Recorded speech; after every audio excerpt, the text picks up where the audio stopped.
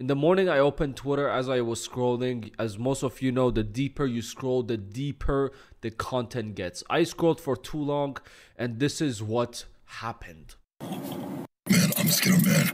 I'm a Skittle man. I'm a Skittle man. This rainbow, this rainbow. And I just woke up from my 8 p.m. nap, and guess what I have dreamt of?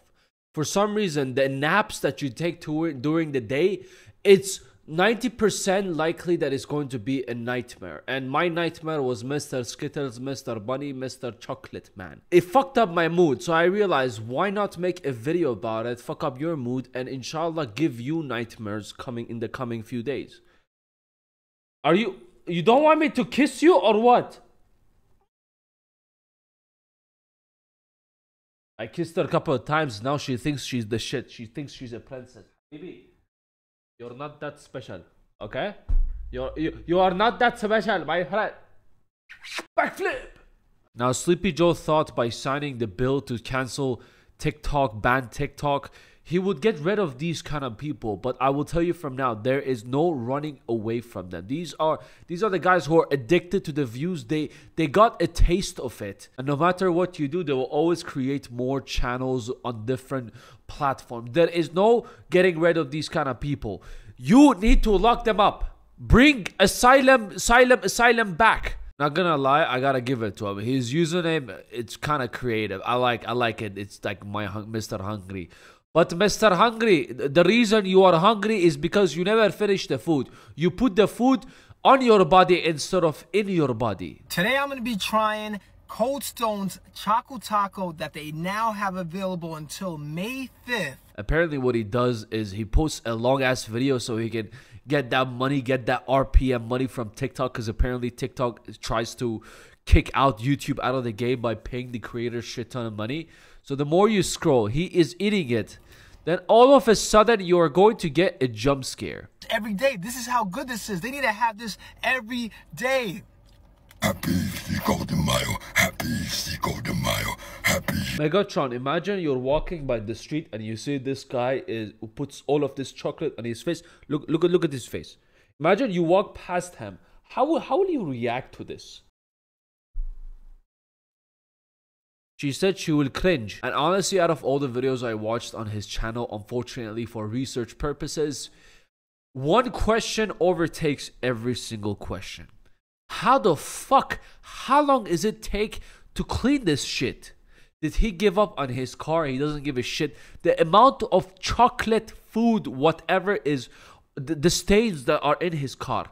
The amount of times each time he does this he needs to go to the car wash. Now mr hungry didn't start his career like this. He actually started his career just eating food in front of the camera doing ASMR amar uh, these kind of things you know with the noise by eating the food he does food reviews but it was not doing well for him. Max he was getting was 100, 200k on TikTok. And after a little while, like the most of the people I cover on this channel, he decided to think outside the box. And what was outside the box? I don't know if he copied it for someone else or he came up with it.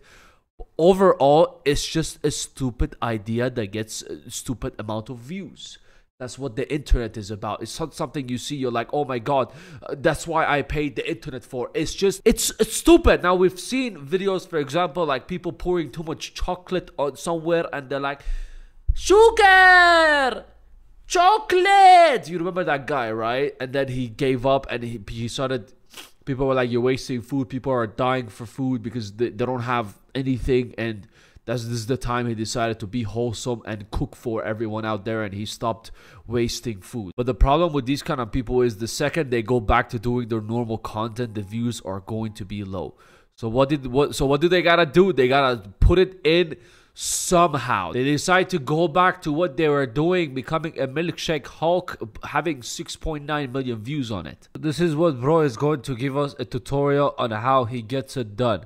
He even does behind the scenes on his YouTube channel if you're interested into doing these kind of content.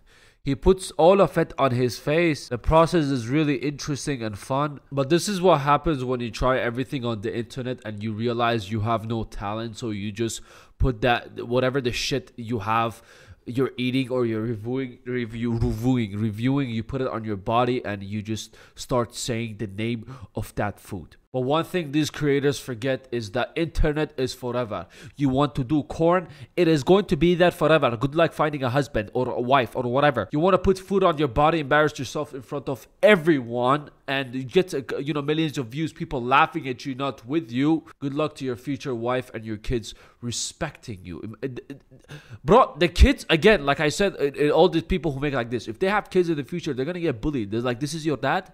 Your dad was a TikToker who used to put food all over his body. Imagine he forgets. He, he does the whole thing. You know, he puts chocolate on his body, then fucks up his car and everything, and then he realizes he forgot pressing record that'll be funny not gonna lie i imagine he he gotta be depressed for this you you can't be like oh my god i got a hit today viral content but honestly this is the perfect prank if you want to jump scare or scare your either your children your son your daughter either your little cousins your nephews just show them this guy's video let them watch it through as this guy is describing the oreo shake and all of a sudden he's going to be like I'm an Oreo shake. I'm an Oreo shake. I'm an fuck, how does he do it? And mission will be accomplished. They will cry for days and have nightmare for months. Honestly, he's doing his thing. Apparently, it's doing good for him. Whenever he puts food on his body, I wish him he recovers, you know, fast from being hungry. I hope he gets full one day because the future does not look bright to him, even though people are gonna get bored of him get putting food on his body. I hope he comes to a realization that he, you know he needs to get a real job and he shouldn't he can't put food on his body forever and people you know just to, for him to pay his bills. Now i'm not trying to give him any ideas or anything but what would actually be entertaining and funny to watch is he, if he covers himself with a lot of food and he goes and he scares children that will be something i'll fucking watch That'll be so satisfying. He will hide behind the wall. His cameraman will be there as well. Kid walks by. I'm a Bugs Bunny. I'm a Bugs Bunny. Fuck, that would be that would be hilarious to watch. Anyways, I just wanted to talk about this Haiwan. I've been thinking about making a video about him, but yeah. Another update with everything. The reason I haven't posted anything for the past two days is because I have very big plans with a couple of content creators, uh, YouTubers, TikTokers, and we are going to be the sidemen of Middle East. We are going to be called the expats. We already shot a video and it is going to be uploaded. I have to just edit it and upload it on Tuesday. So stay tuned for that. And from now on, every night I'm going to be going live on TikTok. I'm broke as fuck. I, am gonna be one of those send Lion, send Galaxy, send send. And if they don't send anything, I will shame them for being poor. So yeah, if you wanna come through, come through TikTok. Oh yeah, take care of yourself. You at the next one.